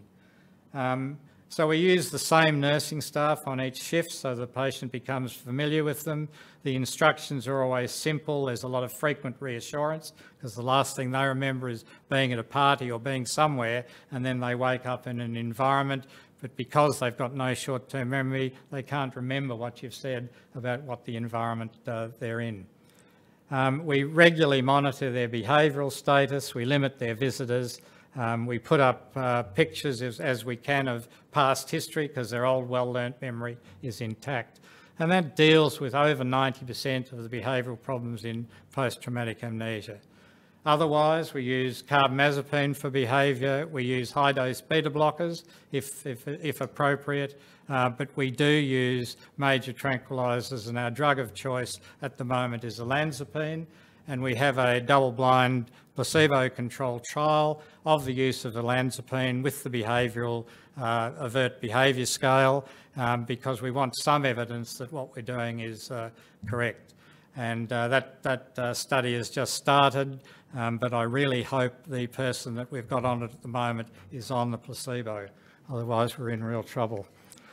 Um, so when they come out of PTA, we've got then a different set of circumstances. We can then determine whether they've, um, uh, their past history is um, uh, influencing their behaviour as we see it.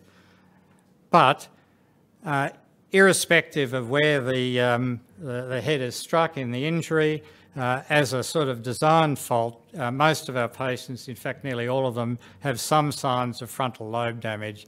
And this is a breakdown of all of the behavioural um, uh, problems that we see uh, in our patients as they emerge from post-traumatic am amnesia. And there are um, techniques of trying to deal with each of these problems, which obviously I can't go into in this uh, lecture. So what about the development of psychiatric disorders post-traumatic brain injury? Well, the prefrontal cortex involved in executive function, and that's important for people's adjustment and adaptation post-injury.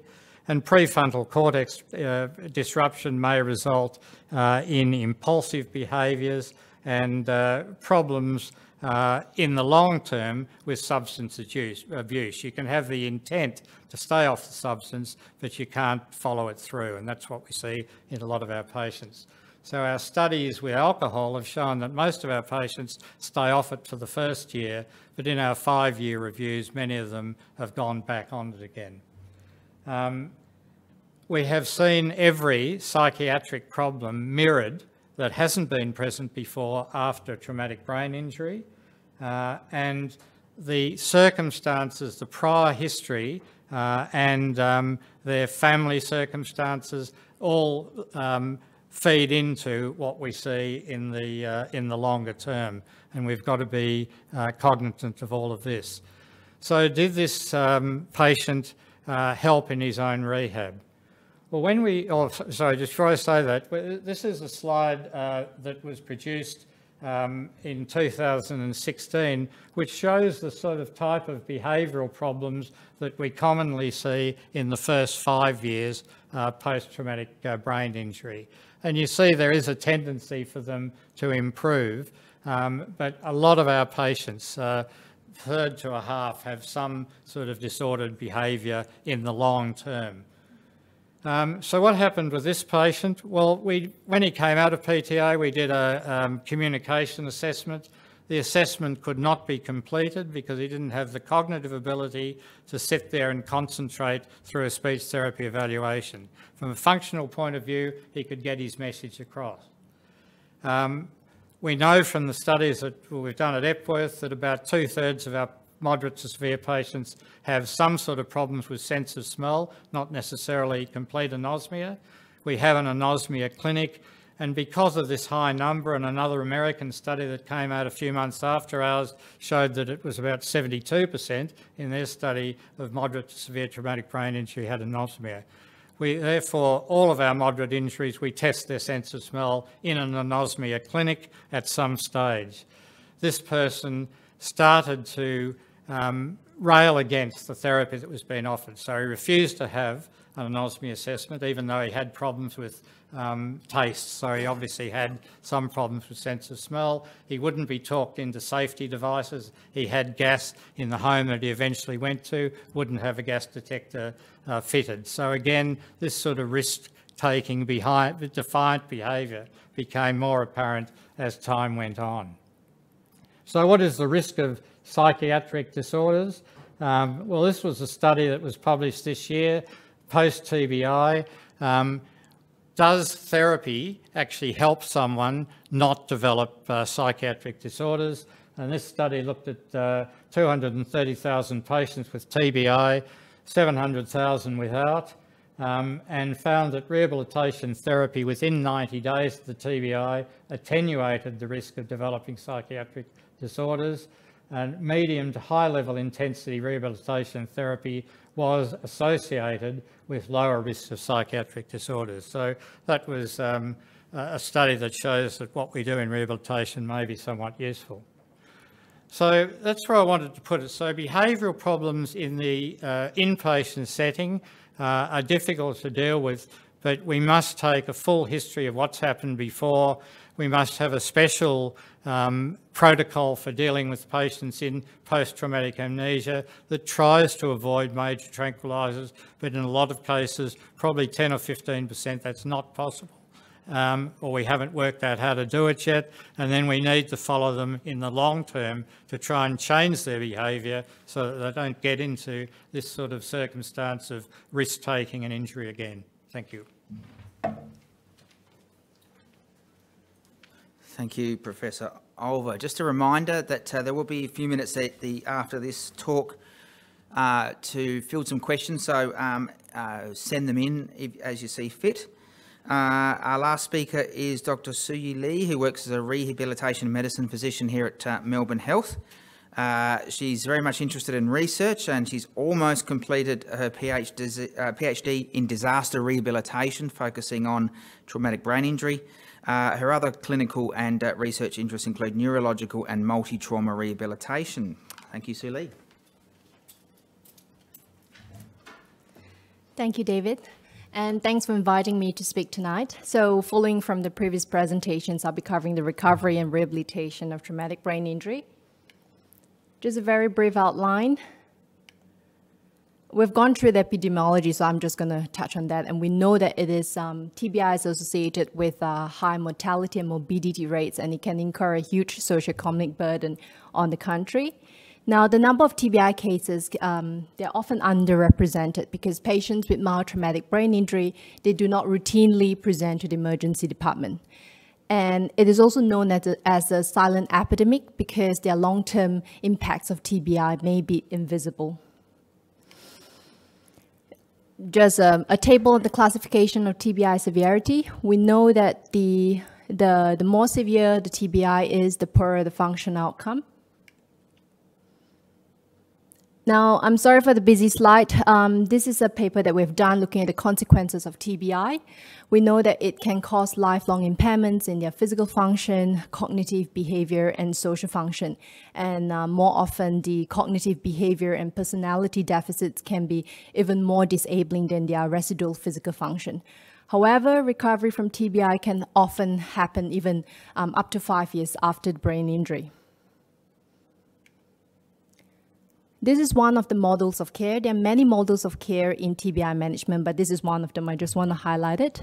So patients with um, traumatic brain injury, they often come into the hospital, they get, they get admitted for acute medical and surgical management, and subsequently they will be referred for rehabilitation. And rehabilitation, there are many phases of rehab. You've got the acute and then the subacute phases. And patients often get um, referred for inpatient rehab, if they have moderate to severe traumatic brain injury, and then subsequently they get referred for community services and community rehabilitation to continue their rehabilitation phase. And rehabilitation is most effective if we're um, using an interdisciplinary approach. So the main focus will be, um, as as John has mentioned, so retraining of their mobility and their, um, their activities of daily living, looking at behavior and um, cognitive strategies, looking at pharmacological management. For inpatient service, and John did mention that as well, they're mostly on post-traumatic amnesia monitoring and um, strategies for more for patients uh, with more di, um, more disability and impairments. We'll probably have to look into environmental modifications, equipments, and then subsequently refer them for long-term follow-up um, in the community. So community integration, it is mainly looking at getting the patients back into the community, integrating them into that. And um, so more often we need to support the family, we need to support the carers. And and, um, and that can happen using, an, uh, using a multidisciplinary team. So this is a section looking at evidence-based rehab interventions in adults with traumatic brain injury. Um, this section was extracted in a study that we've conducted not, um, not long ago, looking at critical appraisal of clini clinical practice guidelines in traumatic brain injury. Now, the ultimate goal of TBI rehab is to get the patient into the community, to integrate them regardless of whether their impairments can be eliminated. And it, it is important for us to know that. So this paper was published not long ago in the Brain Injury Journal. We went through different health science databases, we went through hospital organizations, um, developer websites, and clinical practice um, guidelines websites. So out of the, um, um so we included clinical practice guidelines that contain a rehab component and a traumatic brain injury component, and we only included um, um, guidelines that are verifiable, which contains a review of systematic literature search of uh, existing guidelines that are published in peer-reviewed journals. We excluded guidelines in the pediatric population and um, those that contain a non-traumatic brain injury component, for example, hypoxic brain injury or stroke or tumors. These are the, um, so, so the, the included clinical practice guidelines are from these four developers, mainly from the United States and, um, and Scotland. So these guidelines, um, I'm not going to go into detail, but they're all rated using the AGREE II instrument, which, which also stands for the praiser for, of guidelines for research and evaluation. And as you can see, uh, sorry, they score quite, quite, quite a high, um, high number, so more than five out of seven. So they are ma mainly of good quality guidelines. Oops. For evidence-based rehab interventions, all guidelines recommended multidisciplinary rehab with a goal-focused program. Family and patient education is important as well to facilitate self-awareness and management of their disability in TBI. So the education main will include um, looking at the basic function of the brain, the effects of uh, traumatic brain injury, what kind of rehab interventions they'll be receiving um, in, in the rehab ward or in the community, social supports, and um, even uh, long and lo long-term and short-term goals and their prognosis. The level two evidence looking at physical rehabilitation in patients with moderate to severe traumatic brain injury, looking at physical therapy to improve their balance, strength, posture control, walking using treadmill or overground training. There's no difference between these two in terms of evidence and um, mobility aids as required. And for functional tasks, ADLs, you can look into repetitive and task-specific training. Now, cognitive rehabilitation, you've got functional skill training, metacognitive strategies, behavior interventions. Um, for memory, to improve memory, you've got compensatory strategies, looking, lo using a diary, a notebook, or an alarm clock, and other assistive technologies, a computer, laptop. And for patients with mild traumatic brain injury, cognitive assessment is not routinely recommended if not indicated. Now, John has covered the, um, the rehabilitation of, of behavior and um, um, aggressive patients, so I'm not going to go into that, but there are evidence looking at um, cognitive behavior therapy in patients with mild to moderate traumatic brain injury. As for communication, you got you have got um, the cognitive cognitive uh, linguistic therapy for language deficits using AAC devices, for example, um, alphabet boards, word books, um, computer speech generation devices. These can be helpful as well. Um, melodic intonation therapy, mainly for patients with expressive dysphasia or non non-fluent aphasia. So swall swallowing um, strategies, you've got um, adjusting the posture, sitting upright, diet modification, and restorative techniques, those that strengthen your neuromuscular control. Level one evidence to recommend visual scanning strategies for patients with visual deficits or uh, visual field defects, or even visual neglect. And sleep management, that's important as well because a lot of patients with traumatic brain injury, they don't, they don't get enough sleep and that's, a, that, that's quite a, a common complaint. So teaching them on um, sleep hygiene if, if, they're, if they are able to, um, um, um if, if, if, if you can.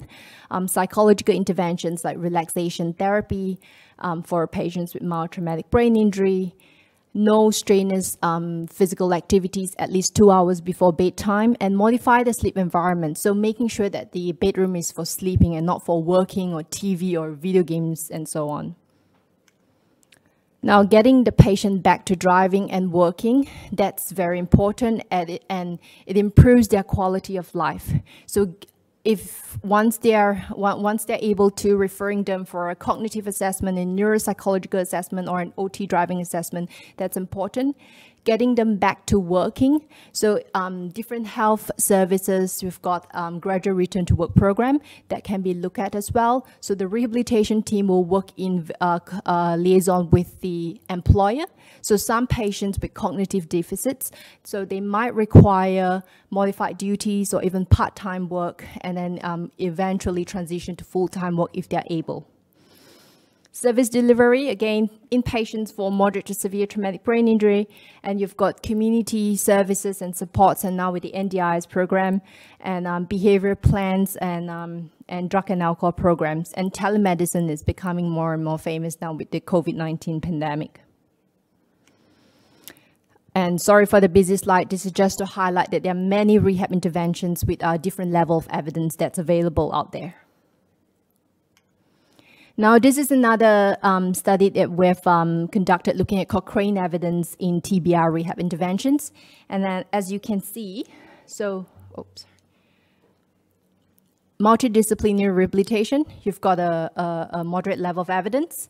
Psychological interventions for patients with mild traumatic brain injury, um, CBT, as I've mentioned just now, for patients with anxiety, you've got a good level of evidence as well.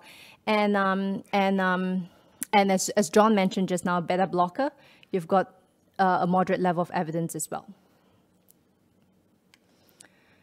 As for the uh, outcomes of TBI, this was a paper that was um, oh, sorry, um, for patients with mild traumatic brain injury, they rarely require inpatient rehab and most of them will recover. However, some of them will have persisting post-concussive symptoms and they do often have physical complaints like headaches, insomnia, irritability, memory issues, um, and so on. So 10, of, 10 to 15 of them will remain symptomatic. And the treatment of that would be reassurance, um, um counseling, education, and psychological intervention. So, and as for patients with uh, moderate to severe traumatic brain injury. This is a paper that was um, conducted by Professor Khan in 2016. Um, it, it, it, was a prospective um, cross-sectional study looking at long-term function and psychological outcomes in moderate to severe TBI. So the cohort of this patient came through the Royal Melbourne Trauma Care and it showed some change in their physical and cognitive function. There was high levels of uh, psychological issues like depression, again, caregiver strain and burden, that's, um, that's almost, that's more than half of them. And factors associated with poor function included those um, who are older, um, more than 60 years of age, with TBI-related symptoms, um, those without who didn't receive rehabilitation, and those classified in a severe disability category on admission. This is a paper um, by Ponsford et al. in 2014, one of John's paper, looking at the 10-year follow-up study following a TBI. And the most common neurological symptoms, um, fatigue and balance. Uh, quite a good number of them had good mobility and, um, and, um, and function outcomes.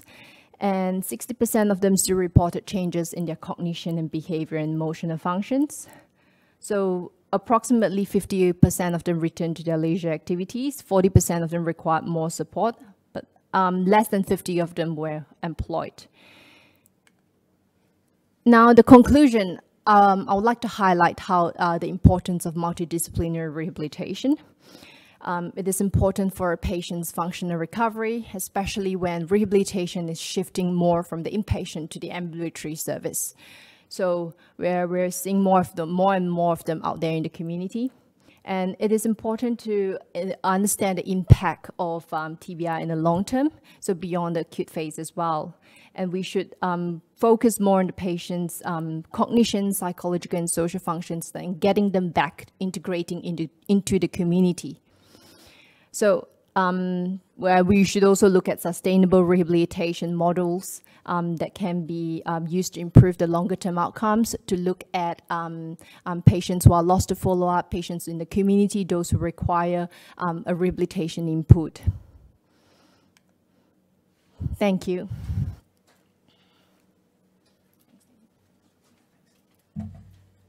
Thank you, Sue. So we'll um, it'll just take us a minute or two to set up for questions. So we'll we'll put on, go on to a, um, a holding slide whilst we uh, readjust the chairs in here uh, for the panel in a COVID safe manner. So just give us a minute or two, and we'll be back online.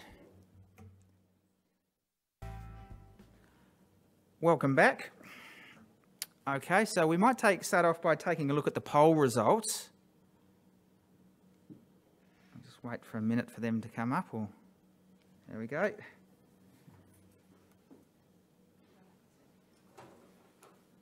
Uh, it's not advancing if you don't. Yep. All right, so what's that? Uh, how are we going to interpret that one? So they've gone earlier. They've gone a little bit earlier for that one. Uh, brave is a comment from Professor Drummond. Next, uh, next one uh, a little, let me see, a little less brave perhaps uh, for that one, and that's what would be that was flagged as um, great for potential for blossoming there. And the next slide. The, the, yeah. The changes in the pond yeah. are not all in the same direction. No, no, no, and we. For each subgroup, yes. different directions of change, don't Yes. We can see here there's quite a marked reduction of early um, chemoprophylaxis in there, and that's um, that ain't a bad thing. I think that would be consistent with what uh, most of us would think. And uh, the last one, and another um, reduction uh, in early uh, desire for early um, chemoprophylaxis. So um, uh, I think we're probably going to have to come down to paper, scissors, rock to work out who gets the better chocolate. Uh, so we'll do that in our own time, and we might move on to some um, some questions then. So. Uh, so the first question, we'll go back to the start for Alex. Does the degree and or duration of total body hypoperfusion on admission affect subsequent cerebral edema, tissue oxygenation, etc., on days five to six? So uh, the question was the degree of hypoperfusion at the injury. So, for example, hypoxia or hypotension. Um, well, those were, would have profound uh, effects from, from the outset, not necessarily uh, out at day five or seven. Uh, we think that the changes happen at day five because of the CO2 reactivity recovering, but uh, somebody who's had um, hypotension below 90, for example, we know from Ch Randall Chesnut studies that they will have double the mortality. Uh, the same with hypoxia, less than, uh, with sats less than 90%, they will have double the mortality. But that's at the outset. Thanks. Okay. Uh, and one for uh, Kate and Chris, where are you skiing this year? Um, no. Who, who's best positioned to consider the question re chemo prophylaxis on a daily basis? Uh, trauma surgeons or neurosurgeons has uh, been put in the question, but I would add, does a physician or a hematologist need to be involved? I, th I think that that would be a good thing if in, in a big institution you, you could have um, sort of a regular multidisciplinary round. Um, that would be, I think that would be, that would be good. I, th I think the, the main decision making is going to need to be by the neurosurgeon, um, who, who's understood the anatomy of the, of, the, of the injury, of the bleed, and of the surgery. But I think a partnership would be a good thing. I think the worst thing is what we do, which is the, the intensivist does a round and they say to the registrar, will you uh, ask the neurosurgeons when we can start DVT prophylaxis. And the registrar says to the resident, will you ask the neurosurgeons when they'll start DVT prophylaxis? And that resident then asks the neurosurgery resident, when can we start DVT prophylaxis? Who then asks the neurosurgery registrar, who may or may not then speak to their boss, which to me seems the worst version of how to make a nuanced decision about a complex patient. And it would seem to me that somehow we should manage to get the two or even three consultants in the same room at some stage I- I to, think- to, to have a plan. I think if it's very complex, we, the, the, con- the small contribution that we can, haematologists can make, we'd prefer to be in the loop early rather than to be pulled in uh, downstream of a whole lot of thought processes. Kate? We, we usually only call you when we're up to our little cotton socks in blood in the operating room, uh, don't we? Uh, yes. Yes. Sorry, Chris, we should. That, no, you're right. It should be it should be early and it should be senior decision makers. Great, thanks. Um, a few questions about rehab, and I guess this reflects the delay in rehab. But the first question is Does the delay or prolonged wait for ABI rehab in the acute hospital affect long term outcomes?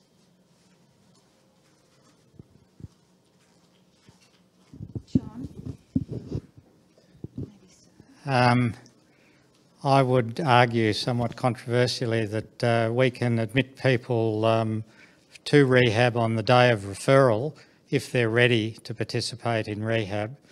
Um, the studies sort of show that if a person has a um, uh, Glasgow uh, coma of seven or eight or above, then you can engage them in some form of active participation. Um, but there are a lot of uh, patients that either with extreme behaviour or with um, uh, extreme sort of cognitive problems or um, minimal responsive state, they're just, there's no rehab goals and they're where the delay happens while you're waiting for them to, uh, to improve. Um, I think in, in Melbourne we seem to have enough uh, rehab beds. It's uh, it's enough. Uh, well, not not in all places, but um, we can we can get patients in. But you've got to be able to start rehab. Otherwise, you've got a very expensive group of therapists waiting there that aren't able to engage with the patient. Um, having said that, I mean, we admit over 95% in post-traumatic amnesia, and you can never tell when they're going to be ready to engage in rehab. Um, but, uh, you know, there might be some need for some sort of step-down facility when they've uh, stopped acute care, but they're not really ready to engage in rehabilitation, which is an active learning process. It's not necessarily just passively done to a person. And I guess following on from that, for PTA management in the acute hospital setting, is there likely or should there be a shift towards Tegretol, beta blockers, that sort of medication, as well as some of the other strategies you use? Well, I, I know that in some trauma uh, centre in Melbourne, they have got uh, Craig bed equivalents. Uh, and, uh, they use low stimulation environments. It's much more difficult in an acute hospital, particularly when they're needing acute care and they've got, um, you know, intercostal catheters and uh, IVs and, and uh, all sorts of things that make their care a lot more difficult. Um, so sometimes the sort of milder use of um, uh, drugs like Tegretol and, and beta blocker, which are effective, but not in extreme behaviour. And if someone's going to damage themselves or, or interfere with their acute management, etc., then you've got to use um, more powerful drugs. And so uh, I, I think um, whilst low stimulation could be looked at more in acute hospitals, in general terms, uh, you, um, you've got to control the behaviour for the patient's sake. And so you may have to use um, medication that with more time we can sort of slowly withdraw and use uh, more of a physical environment approach to, to uh, behaviour in the acute stage, in the PTA stage. Great. Uh, and a rather complex one, but we'll see if we can get it done in a minute or two. Can, would someone like to tell us about the new guideline and the difference between disorders of consciousness and post-traumatic amnesia? No.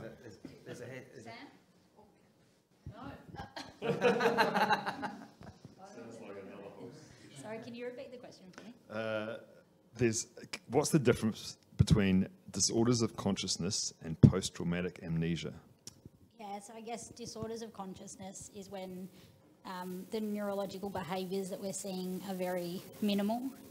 Um, that's when we're looking at things like neurobehaviours or responses, so pain reflexes, um, I guess uh, startle and these lower level things that we see. Uh, so at the Royal Melbourne Hospital, we manage that via the coma recovery scale through our occupational therapy team and the speech pathology team.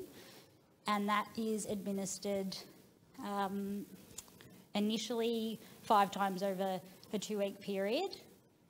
And then we administer that as required moving forward. Uh, that could be once a week if the patient's not showing a great improvement in their neurological behaviour.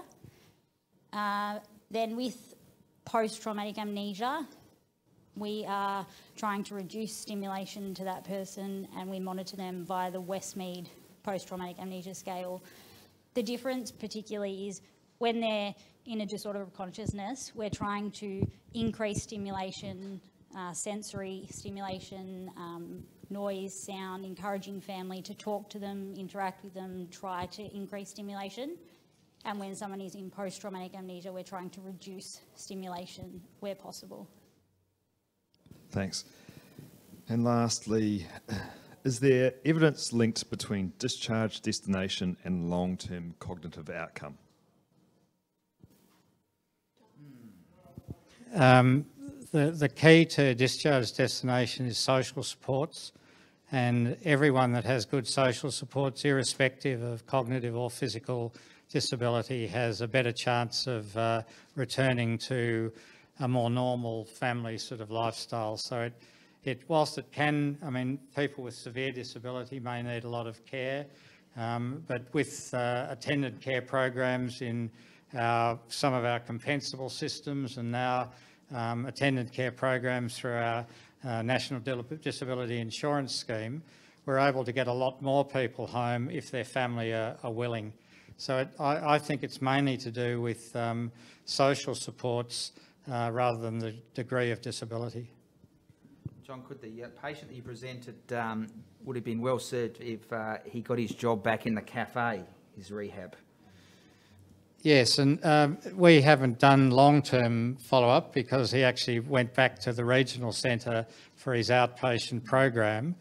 But because it's an old, well-learnt skill and it's a, he had a fairly basic task in the cafe, there is some expectation that he'll be able to go back there in the longer term.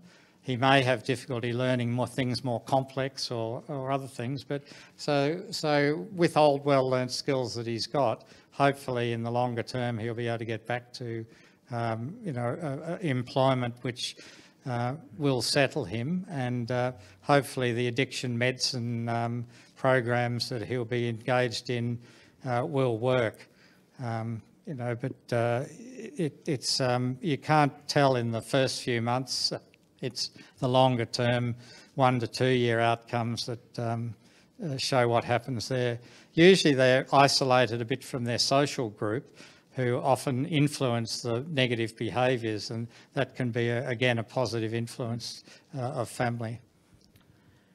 All right, well, we're about, uh, thanks everyone. Uh, we're about out of time, so we might wrap it up um, there. So uh, I'd like to thank all the speakers for their, um, their time, and their effort and their, their fantastic presentations and those of you that have logged in, um, thank you for doing so uh, in this uh, new COVID normal.